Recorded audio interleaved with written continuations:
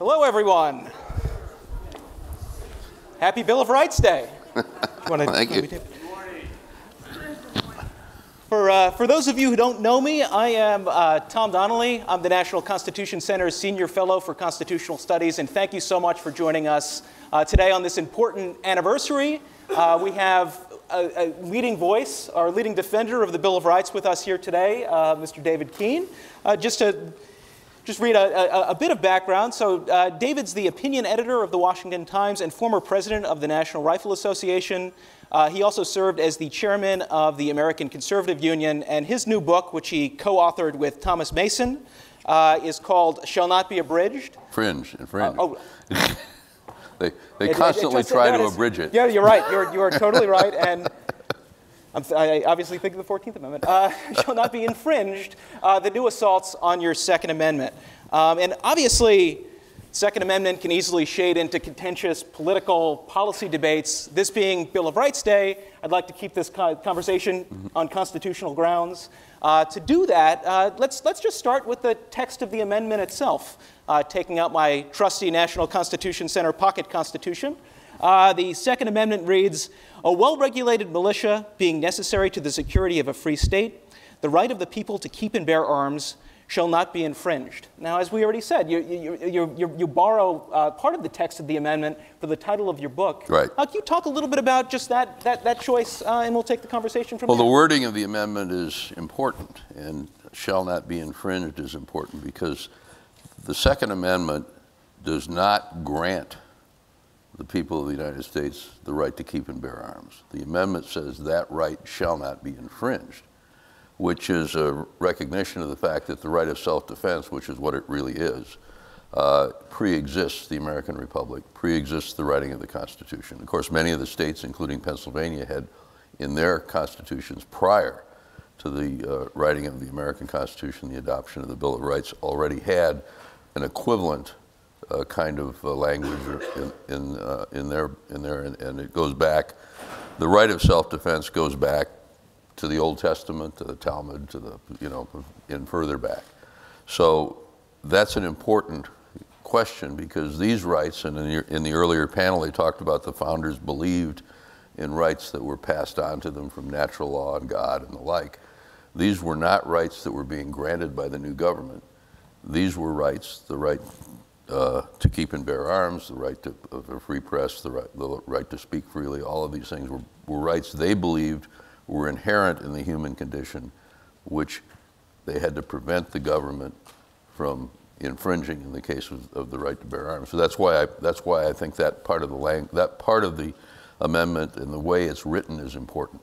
Yes, and I mean, there is so much uh, vibrant scholarship now around state constitutionalism. Justice right. Alito himself, in his uh, uh, opinion in the McDonald case, you know, relies on some of those state constitutional provisions to argue that you know, the individual right to keep and bear arms is, is, is uh, uh, deeply embedded in the American Constitution. Right. The, the, the whole question of the meaning of the Second Amendment uh, was not really studied until relatively recently. It was, uh, there were no decisions on it, there were no court decisions. I went to law school a long time ago, and you would have thought that that one didn't exist. They just passed over it. Uh, we don't need to get to the 10th Amendment, that didn't exist either. Uh, but it wasn't until relatively recently that uh, people began looking at the history. And of course, in a, in a large sense, uh, Justice Scalia's theory of what the Constitution means and meant had a great bearing on that because that drove people back to the history. Uh, and as they studied the history, they realized that this common sort of this, this common wisdom that the Second Amendment didn't mean much uh, was wrong. Uh, and as the scholarship developed, I know at one point that uh, the the uh, folks who wanted a much more restrictive view of the amendment went to uh, Laurence Tribe at Harvard, and he got back to him and said, you know, I'd like to agree with you. I don't like guns, but unfortunately, the founders didn't. Uh, and that uh, as we look at this, we realize that it is what the Supreme Court eventually said it was in the Heller case. And can you just talk a little bit about, so for, for, for the framers, both, you know, at, at the uh, original founding, but also, you know, after the Civil War and Reconstruction, um, can you talk a little bit about why, why this value was deemed so fundamental? Why well, it was I, so sort of worthy, worthy of protection? Well, it's, it's sort of in the American DNA Uh, this is a nation that was founded because the citizens were armed. Uh, we sometimes forget, but that confrontation at the Con- Concord Bridge came about because the British decided to confiscate the ammunition. The guns were in private hands, but the ammunition was in the, uh, in the storehouses. And if they could get at the powder, they could essentially disarm the American people. They, and that's, that was the, what resulted in the shot heard around the world in the, in, the, in the Revolutionary War. So that and the settling of the West, all the things that went on, uh, imbued Americans with down deep with a real sense that this is an important part, not just not just an important part of our history, but an important part of what we are. And the Second Amendment came to symbolize far more than guns, far more than the right of self-defense. It, it came to it came to symbolize a certain view of the responsibility of people to defend themselves, their families, their communities, to rely on themselves, not on government. Uh, the NRA, which I headed for two years, was founded after the Civil War, interestingly, for because the, it was founded by uh, several Union uh, officers in New York, because it was their view that the Civil War had lasted two years at least longer than it should have because Union soldiers weren't very good with firearms. Reason for that was that the Union was recruiting and then later drafting first generation immigrants from Europe in the newly industrialized cities of the North. Uh, and many of these people had no firearms tradition in their, in their they, they couldn't hunt, they didn't have, you know, citizens weren't allowed to have firearms. And uh, in many cases, a Union soldier didn't get a chance to fire a gun until he was in battle and that's not a good place to learn. So the, the, the saying at the time was that, uh, uh, that, a, that a Confederate soldier was the equal of three Union soldiers, but the Union had five soldiers, you know, for every one of the Confederates. And, the, and so two of the first presidents of the NRA were Phil Sheridan and Ulysses S. Grant of, of the NRA. Mm-hmm. Uh, and it was their belief that one, the tradition I was just talking about was being lost because of the, the the changing population, and they wanted to make sure that new Americans, as well as those that had been here for generations, appreciated and understood uh, firearms. And I mean, one of the significant features of the, the shift in, in Second Amendment scholarship was it wasn't just Laurence Tribe, but it was other uh, professors who were often affiliated with or, or thought of as, uh, as being more progressive, like Sanford Levinson, like Reed, Reed Amar, who will be here sure. later today. Um, and cert- I, am actually a, a, student of both of them from when I was in law school. But uh, one, one key feature, too, of uh, Professor Amar's scholarship is sort of rooting the fundamental nature of the individual gun right also in the experience of um, the newly freed slaves um, after well, the Civil War. Yeah, if you go back to the history of gun control as opposed to gun rights, it's come across in several waves.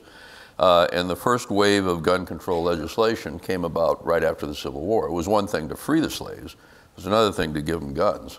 Uh, and so in the South in particular, there were all of these laws that were established to keep firearms out of the hands of the newly freed black Americans. Uh, and of course, part of the civil rights movement from then on was involved with firearms. It's why uh, Condoleezza Rice, our former Secretary of State, was asked about the Second Amendment. And she said, as far as I'm concerned, I'm an absolutist on that question because she remembers hiding under the bed as a child while her neighbors uh, stood on the porch and around her house with shotguns and rifles and the, and the Klan marched. So that was the first wave of uh, gun control legislation. Uh, then we had the, the banning of automatic weapons during the Capone era because of the, the uh, uh, visibility of, uh, of, of, the fellows with machine guns. And then we had the crime, uh, the, the crime bulge and the riots of the late 60s, which resulted in another wave of, of gun control. And during that whole period, things changed. I mean, the, the attitudes changed because the Second Amendment was not only not mentioned, but uncontroversial uh, up through the 60s.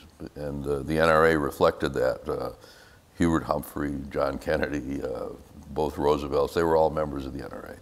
Uh, the NRA and other gun groups, there were no lobbyists, there, were, there, was no disagreement to speak of, but as the, what now become, become known as the cultural wars broke out in the late 60s, uh, all of a sudden there was uh, there was a, a sh- not a shift of opinion, but certainly in the urban areas, a development of opinion that was it was anti-Second Amendment, anti-firearms, so that you had a situation in which, in 1968, uh, the Johnson administration put through Congress the most restrictive firearms laws ever adopted in this country. It was called the Gun Control Act of 1968.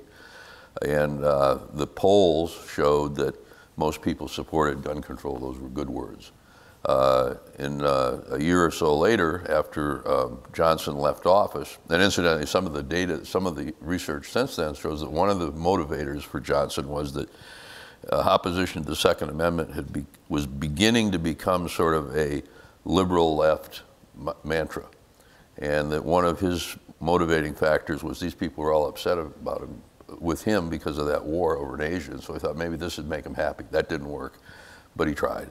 Uh, so a year later, Richard Nixon's um, uh, uh, Attorney General Elliot, Elliot Richardson uh, appointed a commission, which then recommended that the Justice Department, Justice Department within 10 years ban the manufacture, sale, or possession of all handguns in the United States. So anybody who was around at that time, and most of your audience is younger than that, so they weren't, uh, but some of us were.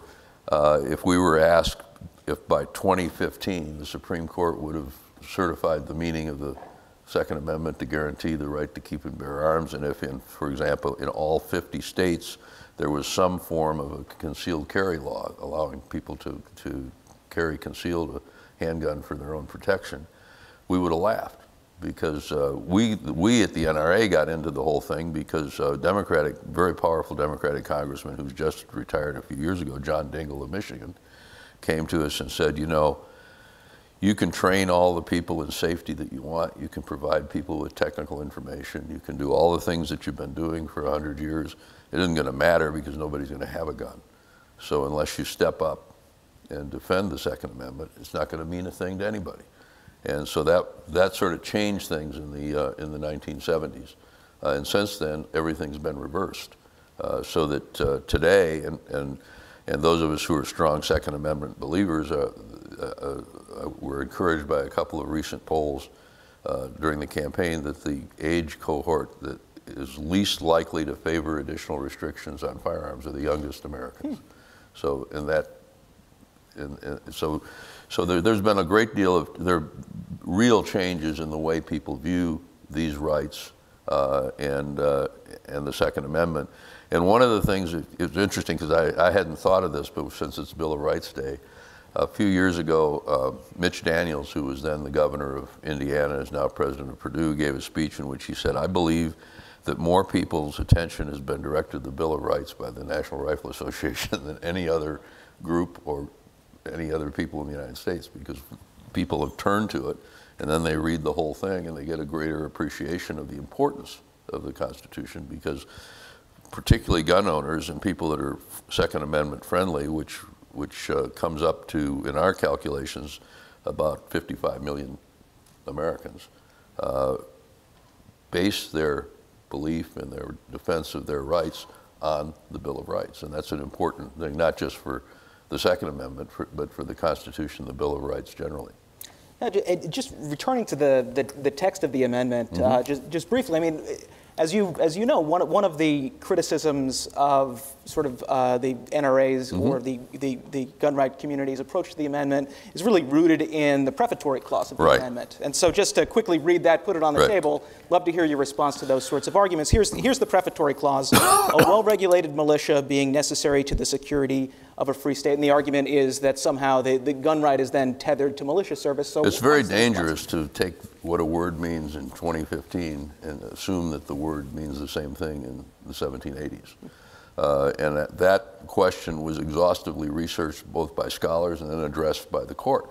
Uh, a, it was the prefatory clause, but B, the militia then meant everybody, meant the people. Uh, and it could have been, it could have just said the, the people. Uh, the, uh, in, in one sense, the, the logic of, of, of, that argument, of the so called collective rights argument, the argument that was was made in Heller against the prevailing position was that the Second Amendment does not in any way guarantee that anybody has a right to a firearm for any purpose, that it only guarantees that the states can have a militia. Uh, and uh, that, made, that made no logical sense historically or, in fact, in a constructive sense. And the sort of mirror language that was used in the states if the militia was there to protect you from the federal government, why did they want to have a militia before there was a federal government? you know, and so the, so what basically happened, and this is where the scholarship changed attitudes, was that this was an argument about words that didn't matter uh, in a historic context, whereas the words I suggested earlier do matter. I mean, and this is actually a great time to put both, explicitly put both Heller and McDonald on the table. I mean, the, the, one of the odd things about the Second Amendment, but also there weren't any decisions. Yeah, there were, basically weren't any decisions for the first 200 years uh, right. uh, of its existence. I mean, just starting with Heller, can you just give us a little background on sort of who the challengers were, what they were challenging, and very briefly what, what, what the court said there? In essence, the uh, District of Columbia had banned the possession of uh, firearms in any meaningful way for self-defense in the home.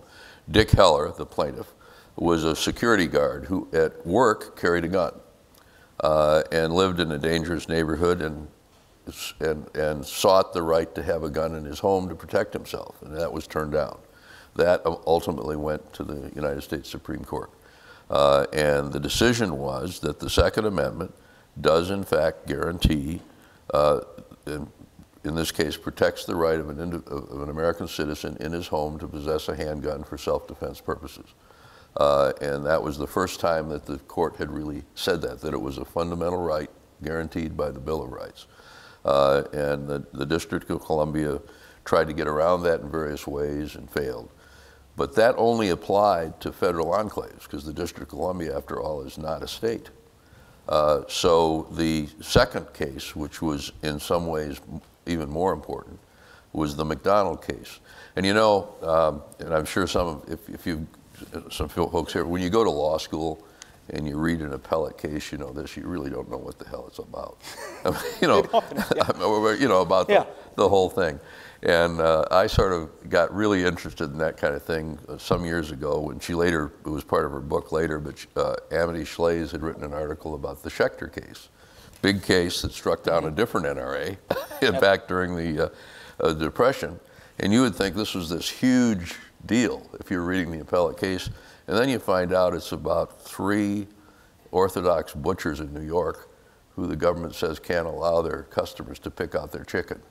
You know, and you, and you say, well, I mean, it, it, it, gives you a whole different perspective on what is this really about to sort of humanize it. So the McDonald case, which was in, in a legal sense, was about whether the Second Amendment right should be incorporated, as other parts of the Bill of Rights has, so that it would apply to the states as well as the federal government. But what it was about was Otis McDonald. Otis McDonald uh, was a black Chicagoan who, at the age of 14, the son of sharecropper parents from Louisiana, had migrated north. A, there was a lot of that in, in those days. Uh, he got a job and uh, he didn't have a high school education. He got a job as a janitor. he went off to the war, fought in the war, came back, got married, bought a decent house, got his GED, eventually uh, became head of his, the janitorial union in the public schools locally. Uh, his kids were grown, his wife had died, and uh, his neighborhood, which had been a pretty decent neighborhood when he bought the house in the 1950s, became the home of gangbangers and drug dealers. Uh, and uh, so he applied to the city of Chicago for the right to keep a gun to protect himself, and they turned him down. Uh, and he took that to the Supreme Court. And he said he took it to this because he was also a student of history. He said he went to the Supreme Court because of his right, the right of other people in Chicago, but also because he knew where those laws came from. Uh, and so he said when he sat in that courtroom, as it was argued before the Supreme Court, he thought he was a representative of those people after the Civil War who were told they couldn't defend themselves either. And of course, the court uh, found that incorporated it. There was a big dispute about what, what what course to take, and that, that really doesn't, isn't relevant here. Uh, but once that happened, uh, the, uh, the right became live. Uh, and I liken it to, you know, the um, First Amendment in 1920 the right to free speech portion of the First Amendment. We knew that it existed, but it, as you know, there weren't many court decisions uh, up to that point.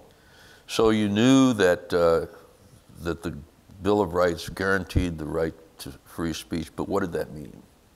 Because as, the, as Justice Scalia noted in, in Heller, every fundamental right is subject to reasonable restrictions. So in the case of free speech, we know the, you know, the sort of outlandish extreme example, you, you know, just because you have the right to free speech doesn't mean you can hire, you can yell fire in a crowded theater. But there were 100 cases that had to work their way through the courts. Can they license your speech? Can, can they restrict where you can speak? All the things that went on. The Second Amendment today is where the First Amendment was in the 1920s because the court has said, okay, it's a fundamental right. Now what? What does that mean? And it's going to, and there are cases now winding their way through the courts uh, that will lay out the parameters of what is and is not allowed in terms of reasonable restrictions on that fundamental right. One of the problems that we face legally is that in the Heller case, uh, it was a ban, a complete ban. So the court didn't have to specifically, although some would argue it didn't have to specifically, address the question of what level of scrutiny courts had to apply to restrictions on that right. Because, I say, maybe they shouldn't have had to, because in the case of fundamental rights, which they declared that it was, the courts are supposed to look at restrictions with what we call strict scrutiny. Since Heller, because they didn't have to answer that question, some of the lower courts in different parts of the country say, well, they never said we had to do that, so we're not going to do it. So you've already got, for example, uh, cases, the, the two kinds of cases that I can mention are one, uh, the so-called assault weapons ban, basically the ban on the semi-automatic AR-15. Some jurisdictions have said that's reasonable and others have said it's unconstitutional.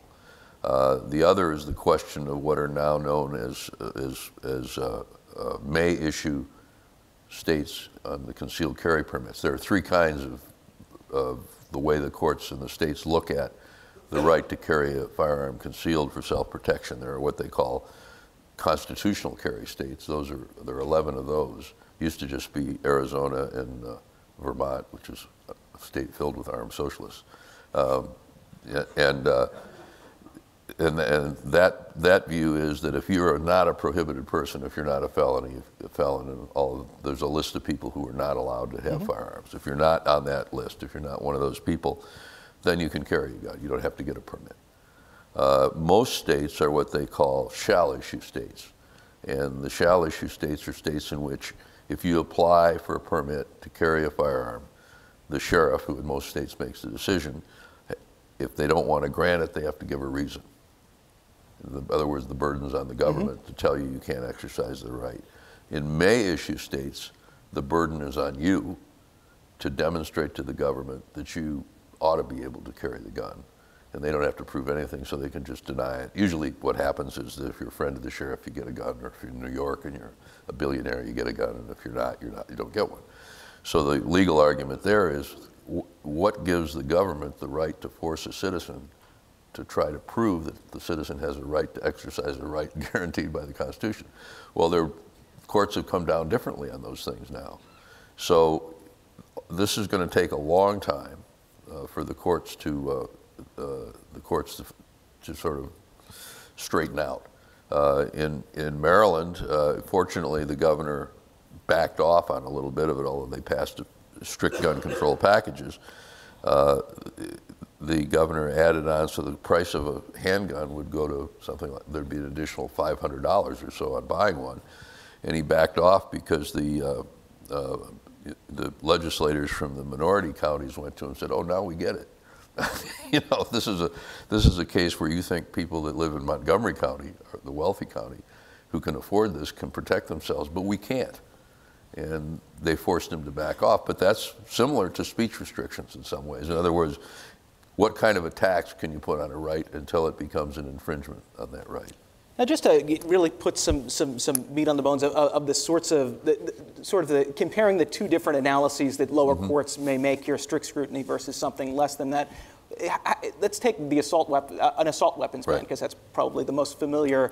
Can you just give a sense of how, if you apply strict scrutiny, what the analysis looks like versus what a more permissive Yeah, standard looks like? actually, it is even more than that because uh, if you read the Heller decision, uh, there is a, a paragraph in it which uh, I have to believe, though I don't know this, that uh, Justice Scalia and the others said they tried this once, let's just tell them what they can and can't do.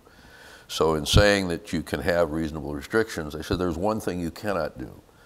You cannot restrict or ban a firearm that's uh, widely owned and commonly used for legal purposes.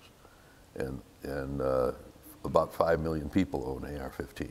The, the AR-15, which is a semi-automatic, not an automatic weapon, uh, is uh, owned by about 5 million Americans. It's the most used firearm now for competition. It's the most used for, for uh, long gun rifle training, used for hunting, for predator hunting. It's illegal in some states because it's too small uh, a caliber for deer, uh, and so it's, it can't be used for that.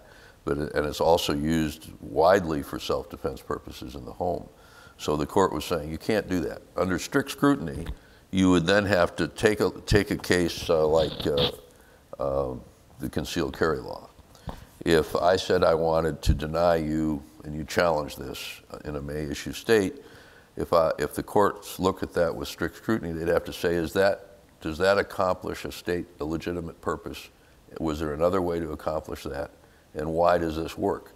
Uh, in Virginia, uh, this was, the legislature stood up and stopped it, but in Virginia last year, the Attorney General decided by executive order or regulation that Virginia would no longer recognize the concealed carry permits of people that are issued in 25 other states, which would have affected about 6 million people that travel through Virginia. And a Washington Post reporter asked him at the press conference, Mr. Attorney General, can you name one law, one crime that would have been prevented had this been in effect before, or one crime that you think will be prevented because you're adopting? He said, no, I can't, but that's not the point. Well, if you're looking at that from a strict scrutiny point of view, you'd say, oh, but that is the point. Uh, and that's where, that's where you get into it. So you'd have to look at it. The fact is that, um, uh, take going back to the so-called assault weapons, assault weapons, a military weapon that, uh, can, that can be used selectively and, be fired fully automatically. So these guns are not assault weapons. Uh, these guns are civilian, semi-automatic versions that look like the, the fully automatic. And one of the reasons is that my daughter, for example, uh, spent 10 years in the Army. She did two tours of Iraq and one of Afghanistan. She owns one gun. It's an AR-15 because the fully automatic military version was something she relied on for, to protect her and to save her life while she was in the, in the military. And now as a civilian in her home, she's got a semi-automatic version of that. And she also knows it, loves to shoot it. Historically, the best-selling, the most used civilian guns at any stage of firearms development are something that that are adopted by people who've served in the military. So that's the reason for that. But going back to if you're looking at it with, with strict scrutiny, you'd say now are a lot of people killed with these guns? And the answer is no. In fact, according to the FBI, each year more people are beaten to death in this country than are killed by all long arms, shotguns, rifles, eh, assault weapons, the whole thing. So they'd say now, is banning this for all these people accomplish a real purpose? And, and if you're looking at it with strict scrutiny, the court might say, mm, no, it doesn't. So that's, I mean, but those questions, they become empirical questions in many ways when you're really looking at it that way. You can't just say it's a good idea. Uh, you have to be able to prove it is.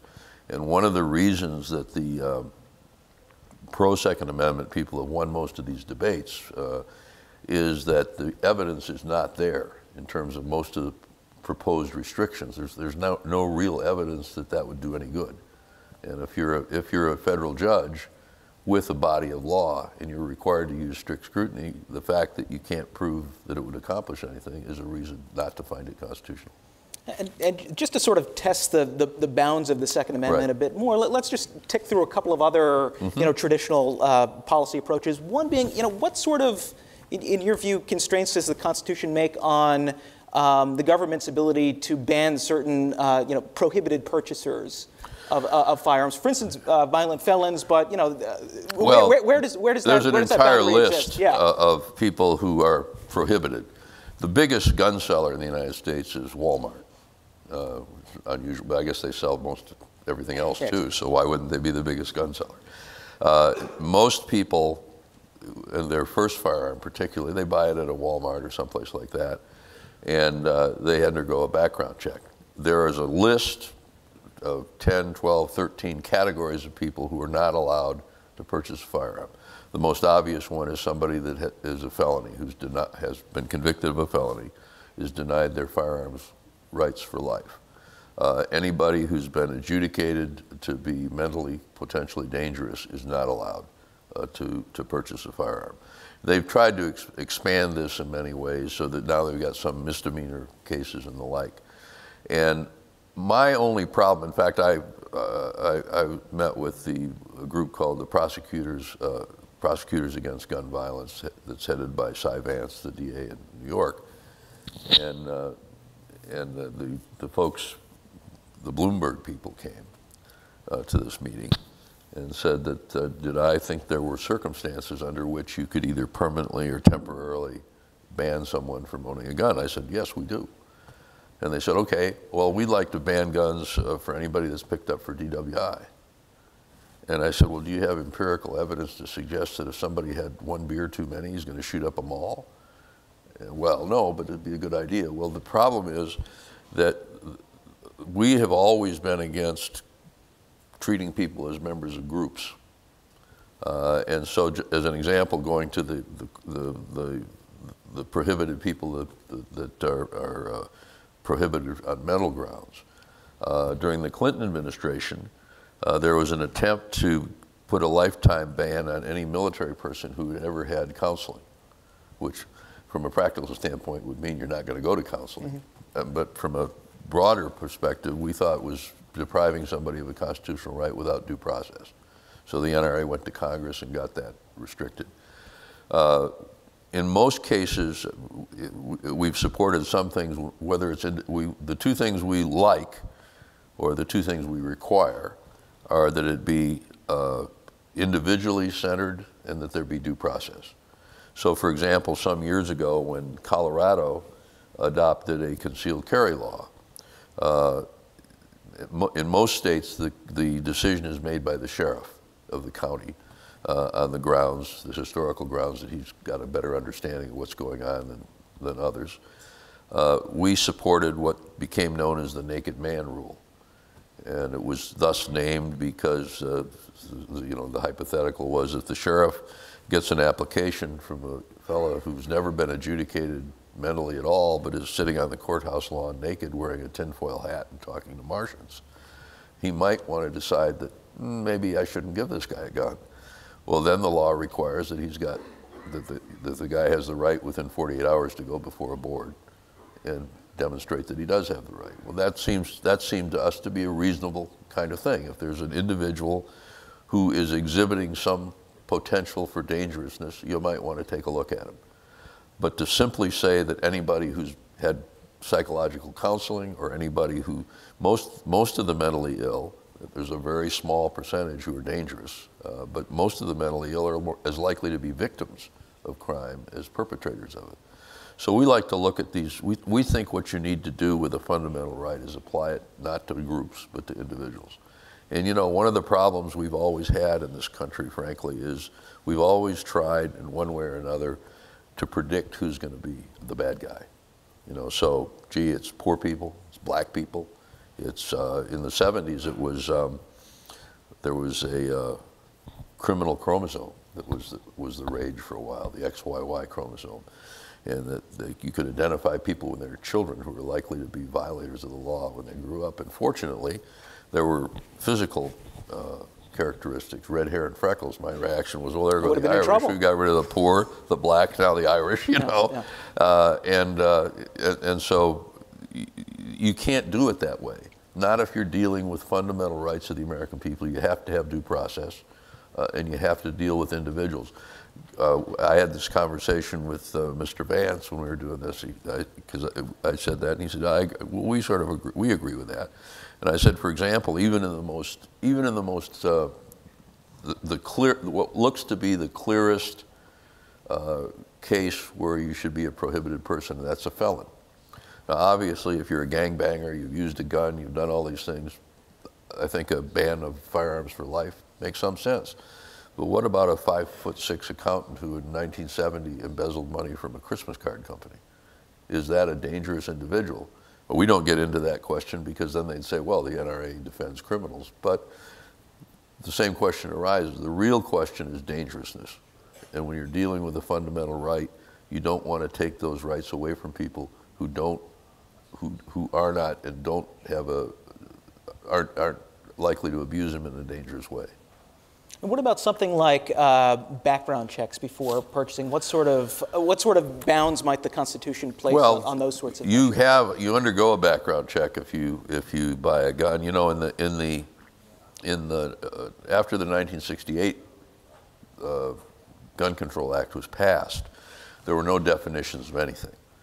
Uh, and so it was really up to prosecutors to decide who were dealers and who weren't and who was doing it illegal, illegally. And there were a lot of, there were prosecutions of people who gave guns to their grandchildren, gun collectors mostly in those days. And finally, the Senate, uh, actually when Birch Bayh from Indiana was the chairman of the committee, took a couple of weeks and said, who do we, what is it that we're trying to accomplish here? And they came up with the current rules. Uh, and then in 1994, uh, we asked for, the NRA asked for two things. One was that uh, there be an instant check system developed. It took some years to do that. So that today, if you go to buy a gun from a dealer, they dial a number, uh, and your name is run through all the databases by the FBI. And then within, sometimes within seconds, sometimes within minutes, it comes back and says he can get a gun or he can't. Uh, and, and then the law requires that if you were approved for purchase, that those records have to be destroyed.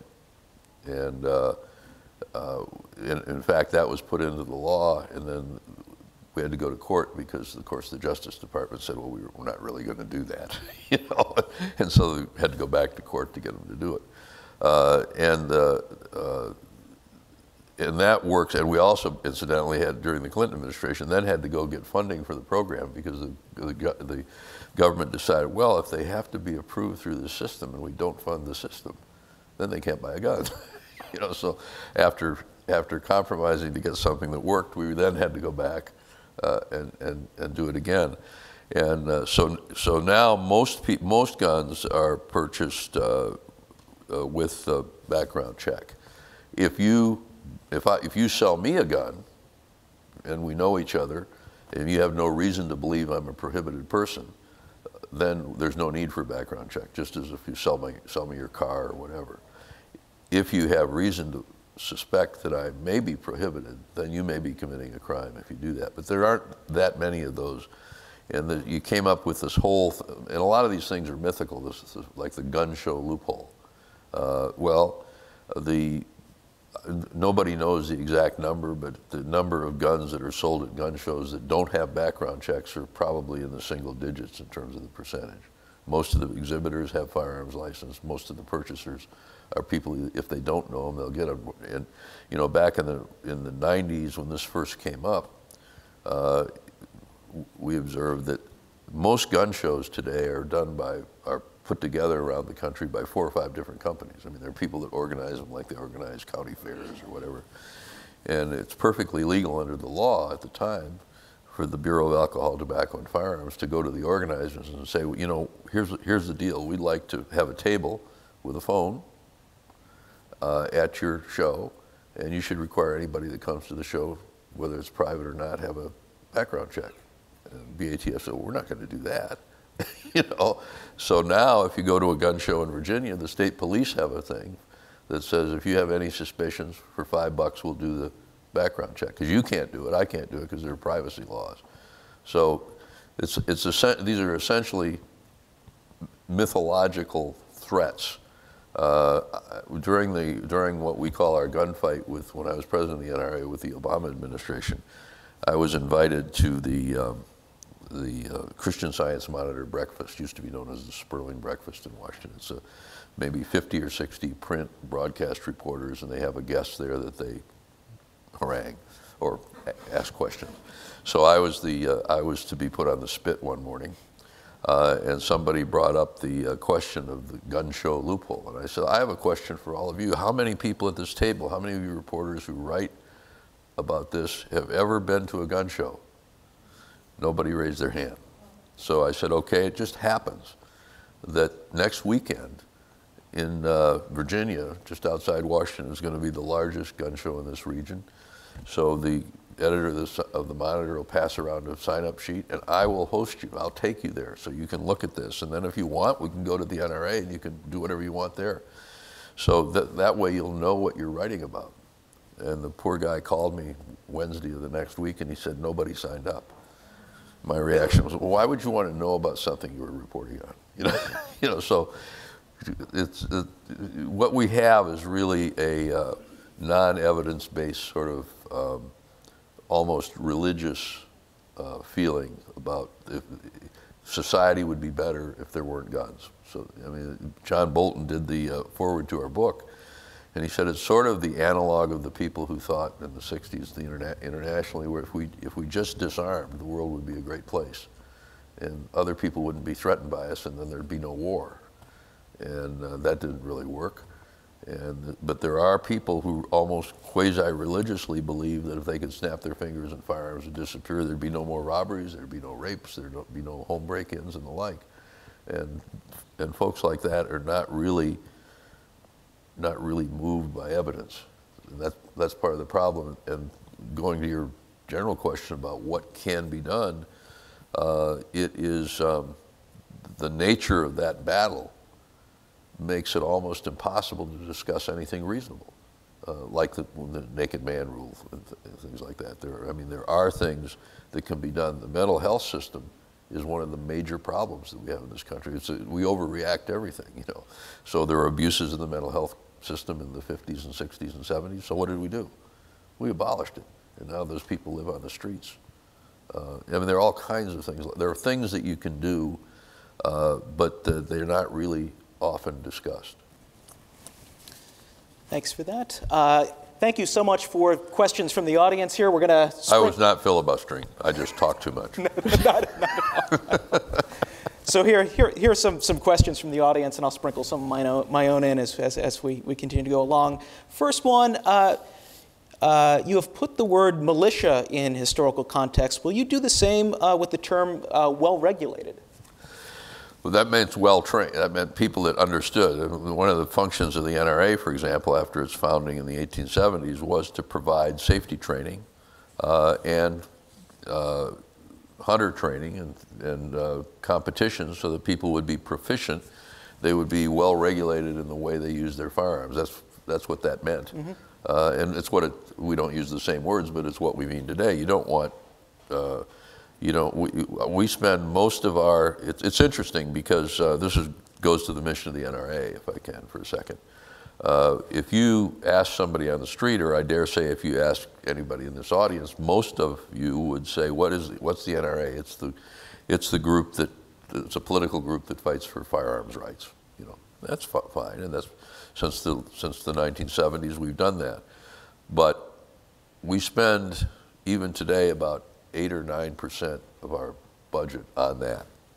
The rest of the money that we raise and which our members benefit our members is safety training, firearms training. We run competitive matches, the National Police Championships in Al Albuquerque, all these kinds of things, which is the historic mission of the NRA. I dare say if there are some people in the, in the audience uh, my age who uh, started uh, hunting or were Boy Scouts back when they were in their uh, younger days, probably got their training uh, from the NRA. We've got something like 70,000 certified trainers in the country, a program which began because uh, we're now in a new century, so a couple centuries, the turn of the, the, previous century, the Boy Scouts had a merit badge for shooting, didn't know what that meant. So they came to the NRA and asked us if we'd set up the standards for them, and that's where our training, our certified training program. But, but that we think that we think that pe people who purchase and use firearms should do so safely and they should know what they're doing. And that's, that's part of the overall mission of the, of the organization. Excellent. So here's, here's another question. Uh, if the right to bear arms is a natural right, uh, why is it not valued today in the same way by other democracies like the UK, France, or Germany? Well, most countries, in fact, and this goes to the UN treaty, and the UN itself deny that there is any right to self defense, whether it's with a gun or any other purpose. Uh, not every country takes that position, but that is the position of the United Nations. It is the position of Australia or Germany or Britain. Uh, in in Britain, if uh, if you have a gun, if you have one legally for some reason, there's not very many, but maybe a shotgun, and somebody there's a home invasion and you use that gun to protect your family, you're the one who goes to prison, because that right does not exist uh, under the current laws in those countries. Uh, that right has existed um, throughout history in the world. In fact, I I've got to fly down uh, after I leave here to Florida because I'm speaking to 800 principals of Orthodox Jewish schools uh, about school protection because one of the things that we've developed is training uh, and ways to assess the vulnerabilities of schools and what you can do with and without firearms. Some schools use firearms, some don't. Uh, and I was just, because of the group I was talking to, I was looking back in, in the Old Testament, uh, the right in fact, the Old Testament has what, what we would call the castle doctrine. Uh, if a burglar broke into your house at night, you had the right to kill him. Uh, if you had, the, you had an obligation to defend your family. Well, Americans still believe that. Uh, a lot of countries don't. Here's another. Uh, do you the agree? short answer oh, is we're right and they're wrong. Okay. Uh, do you agree that any gun regulation leads to a slippery slope to banning guns? And the second part is why should individuals have a right to possess assault weapons? Well, individuals don't have a right to uh, possess assault weapons. Uh, uh fully automatic weapons have been restricted uh, in this country since the 1930s. Uh, it, you can, you, it's, it's not fair to say that you can't get one. But I can tell you this, that the license that you need, the tax you have to pay, and the background check that you have to undergo is far greater than any of the people that are going to go to work in the Trump administration. and uh, uh, so, and, and, then because it's been illegal to manufacture assault weapons in this country for uh, since the 1960s, uh, a machine gun uh, that you purchase is going to cost you upwards of twenty to thirty thousand dollars, or maybe hundred thousand dollars. So some years ago, the late Frank Lautenberg uh, from New Jersey, who had claimed that the NRA was facilitating the sale of machine guns at gun shows to terrorists, uh, decided that there needed to be a law against this. And uh, they took up an entire day of debate in the United States Senate. And actually, the NRA didn't do the research. Some there, there still are enterprising reporters in this country. Did a piece in which he said that he'd researched the question, and Mr. Lautenberg was really onto something because since 1939, two people have been killed in this country. Uh, one by a gun collector and one by a policeman with machine with legally acquired machine guns. You can't buy an assault weapon. You can buy a semi-automatic AR-15 which if you don't know the difference might look to somebody like an assault weapon because they think it's ugly. Most people who have them don't think they're ugly. So that, that's the, that, that question is, that was the second part of the mm -hmm. question. What was the first part? I'm sorry. No problem. Uh, do you agree that any gun regulation leads to a slippery slope to banning guns? Well, that's the ultimate goal. This year, uh, and usually, the, the folks who want what the president calls common sense gun restrictions says he's a believer in the Second Amendment. He would never ban guns. He ran ads in the 2012 campaign saying, I will never, never take your gun, I'll never take your pistol, I'll never take your shotgun. This year, the President of the United States and Mrs. Clinton said that there were two models in their mind for how to deal with guns in a common sense way. Great Britain, and Australia. In Australia, and Mrs. Clinton cited the fact that Australia had what we call a gun buyback program. We tried that in a couple of cities here. Difference was that we did it on a voluntary basis. In Australia, Uh, it was a mandatory basis, and the ads were very simple. They said, uh, refuse to turn in your gun, go to prison. Then the government bought an ad, a full page ad in the Australian newspapers. And this is Mrs. Clinton's idea of a common sense way to go about regulating guns, although she may not have seen the ad. They bought full page ads of three people naked from the, but there's pictured from the waist up, tied to showers, which were obviously supposed to be prison showers. And it said, if you don't turn in your gun, this can be your future. I would say that those that people who hold that up as the model of how they ought to deal with firearms in this country, in fact, want to abolish firearms. Uh, does every every uh, reasonable restriction on, on firearms result in that? No, but what has to be realized is that there are a lot of people who would like to accomplish that. So people who believe in the Second Amendment have to be very cautious about it. When the Gun Control Act of 1968 passed, Ted Kennedy said it's a great first step on the way to abolishing firearms in this country. Was he ready to do that? Did that do it? No. Is, is, there, a, is there a path from step one, step two to step three, four, and 10? Yes, there is a path. Will they be able to go down that path? We hope not. And, uh, and actually, uh, far more people today support the Second Amendment that did in the 1960s, 1970s, or 1980s. Uh, Eric Holder had said, not during his incarnation as Attorney General, but during the Clinton administration when he was Deputy Attorney General, had given a speech in which he said, Our goal has to be to demonize guns in the way we did cigarettes. We have to make it culturally unacceptable for anybody to own a firearm. Then we'll be able to get rid of them. Uh, well, what he's learned since is that guns aren't cigarettes. Uh, and in fact, between then and now, more people are buying firearms, more people are using them. Uh, the biggest group of people buying guns today are women. Uh, I, and, and uh, that's the biggest growth of the NRA, for example. It's the biggest growth in competition. Uh, I, I, used to say a couple of years, it didn't happen until a few years ago, those manufacturers aren't making pink guns because they like pink. They're making them because they know their customers. Now, we're, we're running out of time here, and I'd like to have just a chance to project ahead a little bit. We've talked a lot about the past, but obviously, we just had an election. We have a, a new president, um, and, and one of his first tasks will be uh, naming a replacement for Justice Antonin Scalia on the Supreme Court. But let's, let's project ahead, say, 20 years. Imagine it, it, it's 2036. Um, President Donald Trump has a chance to, let's say, appoint three to four new conservative justices to well, the court. Appointing, what, what, appointing one won't do it uh, because, the, as I said, the question is what kinds of restrictions will be found to be reasonable by the court.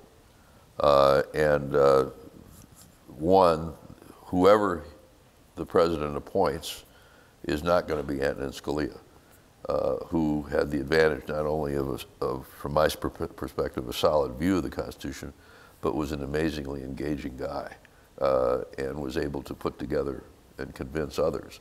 Uh, there are others on the court who might have voted, Anthony Kennedy, for example, might have voted and did vote with the majority in Heller, but not, might not do the same on some of these other, other questions.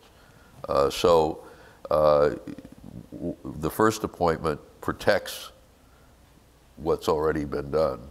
This, the second appointment will determine the outcome of a lot of those cases that we talked about earlier once they reach the court.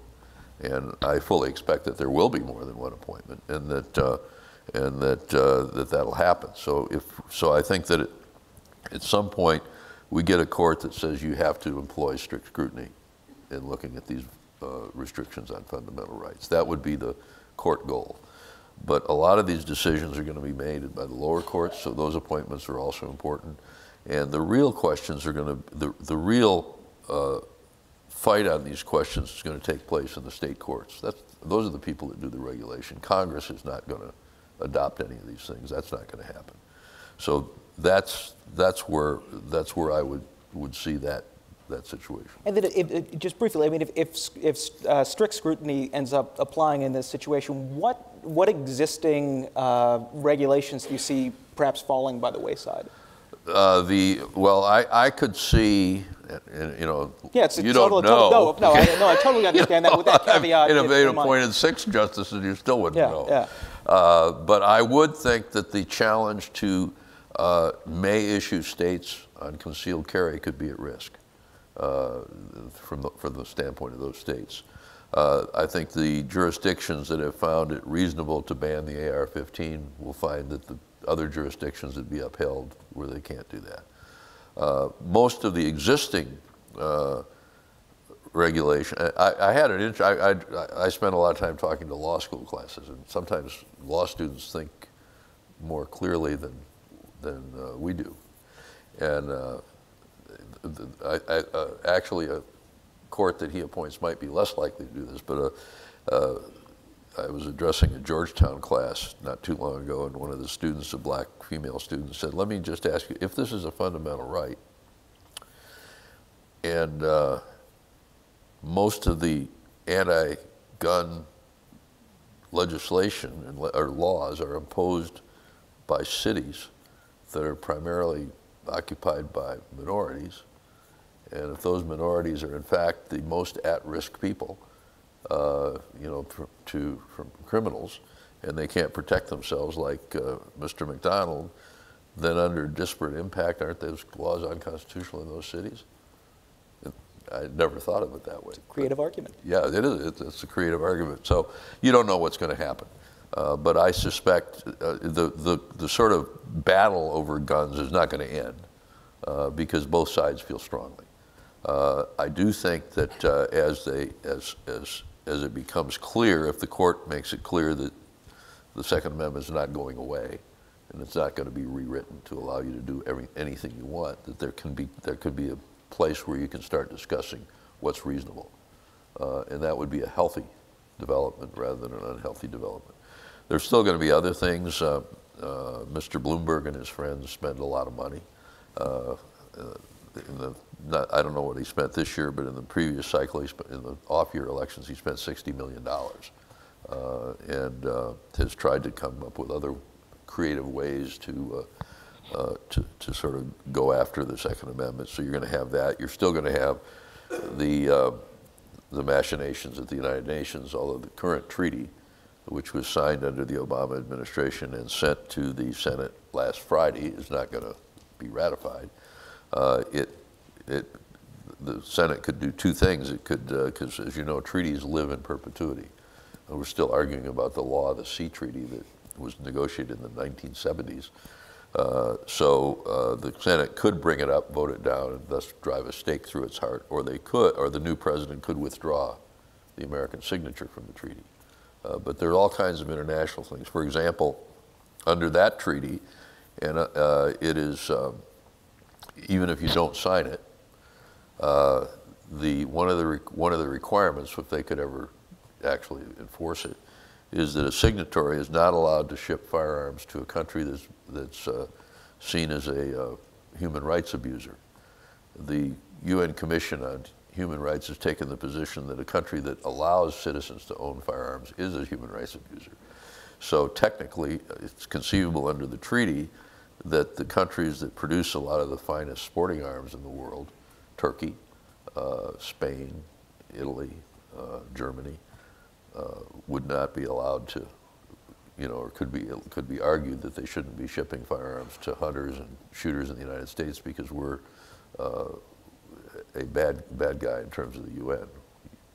So the, the, the, there are all kinds of things. We now there's a there's now a group of uh, big law firms. That some of their partners are getting together and saying, "Can't aren't there ways we can find ways to around this and we can sue all these people?" Um, you know, that's where that was the big controversy with um, between Hillary Clinton and Bernie Sanders, as you'll recall, during the presidential thing, because Bernie Sanders had uh, had voted not to allow uh, lawsuits against gun companies that that were not for manufacturing bad products or anything like that, but to say that guns were bad, and, and they never expected to win those, but they expected to break the companies. Uh, and I think they're looking at that again as a way to do it. Because when you hear this, this talk, I mean, the, uh, somebody said, well, aren't they, maybe these lawyers are, are like the cigarette lawyers. I say, well, the difference is the cigarette companies had money. The American gun companies, uh, I don't know how many times Winchester's gone bankrupt, but these are companies that uh, they have big names and much smaller capacity and much smaller uh, purses from which you can, can get money. Excellent. Well, for those of you hungry for more information about the Second Amendment, uh, shameless plug to check out uh, National Constitution Center's Interactive Constitution at constitutioncenter.org. We It's a short one, so you can. Yeah, no, uh, but, but, but we, we have essays by a leading conservative scholar and a leading progressive scholar, And Nelson. you don't have to read a lot of cases. Yeah, exactly. Yet. Nelson Lund, Adam Winkler, you can get the best arguments on both sides. You could trace uh, the state constitutional roots of the Second Amendment and the uh, gun rights around the world, all at the Interactive Constitution, or download it at the App Store, or Google Play. But I have to. Oh, I, I have quick to, plug, or I have to. Well, yeah, you, you can buy my book. Yeah. Uh, that's important uh, to me and my wife and my publisher. Uh, but I, the, the, this, the Constitution Center is an important place, and I just want to. I've got a, a, a friend here uh, who, who he and his wife had come here from Italy, and 10 years ago he came to the Constitution Center and walked out and said, "I'm going to apply for citizenship now." oh, that's great. So That's wonderful. that's an endorsement. Uh, I think he's here. Rob, stand up. So he's an American citizen because of the Constitution Center. Well, well, that's, that's, really, that's terrific. Thank you so much. And David Keene, thank you so much for this terrific discussion. Uh, definitely check out the book. Um, and again, happy Bill of Rights Day, everyone. And Merry Christmas. And Merry Christmas.